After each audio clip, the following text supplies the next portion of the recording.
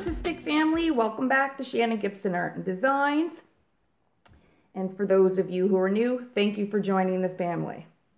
All right, guys, well, first time trying a whole new technique. I am using the waterfall technique to do the wing effect, which gives you those gorgeous feather-like wing triation lines, which I am praying to keep. So what do I have here? I've got my scissors, one ounce cup. I have my fruit cup that I use as an empty plastic container that I'm going to use to prop up the canvas. And then I have a 12 ounce clear cup that I'm going to cut. And then I have my glue gun. So what am I going to do with all of this? Let me show you. All right, guys, so I'm going to take the scissors and I'm going to cut this off. And then what I'm going to do is use the glue gun and put a few beads here and place that in the center.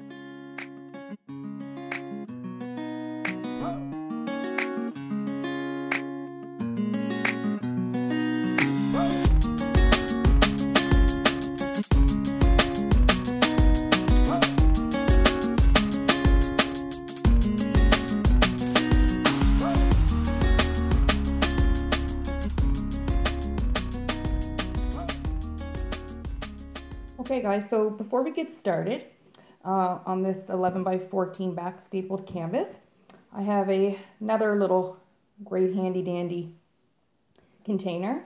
But first I'm just going to go over the colors. You guys know I love my metallics and I've been on the gold, white, bronze, and black tangent um, in the last few weeks. I love it. And I'm just playing around with the various colors um, in different techniques. So I have my Acrylic Flow White by Artist Loft, my Acrylic Flow Black by Artist Loft, and my go-to 14 karat gold by FolkArt.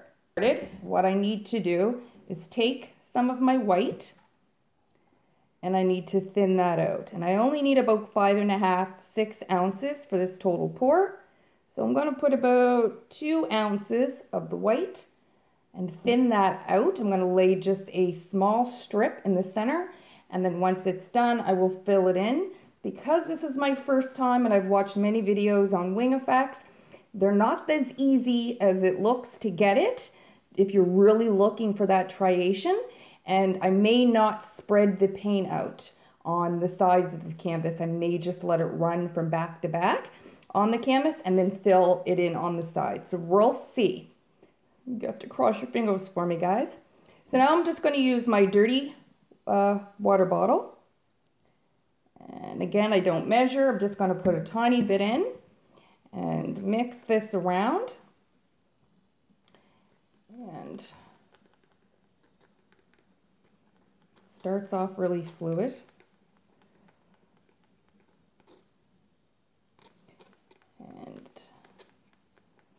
Poured that, as you guys can see, from my go-to bottles. And you got to stir it up really good. Like, just don't put it in and stir it. Okay, you need to stir it up really, really good. And I still want that to be a little bit more fluid. I think that will be good. Now, when I do my tutorials, you guys will see exactly how I mix it. It takes a while. If you guys um, are not artists or you don't paint or have never done acrylic fluid, you may not know that, but sometimes, I mean, it feels like you're going to get carpet tunnel really quick because you really should stir a lot. Okay, so now you see that. Okay, you see how that just runs in there. Okay, and it runs right off the stick. So we are good and ready to go.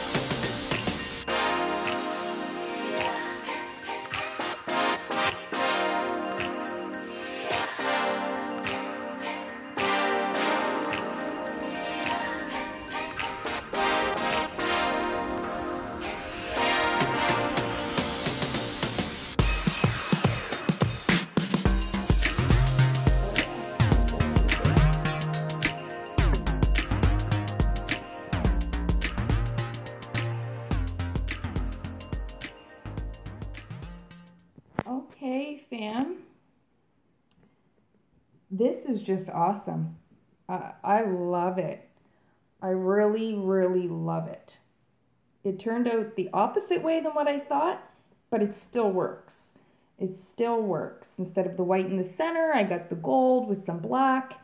Um, what I was thinking in my head is I'd have the white in the center and the gold and the black would outline the center and that would give me the definition of the wings. Some of my lines kind of moved out of the way a bit, but you can definitely still see that it would be like a feathered wing type look. Not as defined as what I want, but again, I love it. It looks absolutely delicious. Look at that. And also it reminds me of a piece of wood. Like in my Metallics in Motion part one, I did a wandering tree ring pour and you really have to check it out. I will link that. It looks so much like wood, it's unbelievable. Um, and I will be doing that one again at some point. But um, I'm really, really happy with this, guys. I really, really am. And even though I didn't get the exact feathered lines that I was looking for the wing effect, um, the ones that I do got, you guys know I love lines and I love movement movement and I really did get that. And I did get some really cool cells and um, none of them are wonky and I just love this here. I really love everything. I really, really love it. And the black and that gold just totally made a bronze. I mean, that looks exactly like my Artist Loft bronze, which I love, and with the black. Yeah, I really love it, guys.